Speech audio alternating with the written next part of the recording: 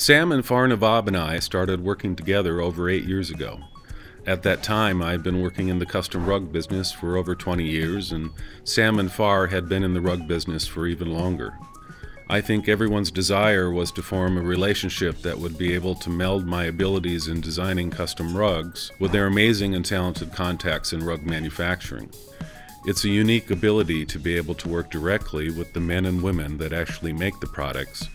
Some people will say that picking the size and colors of an existing pattern is custom, but starting from a blank canvas is much more involved and much more exciting.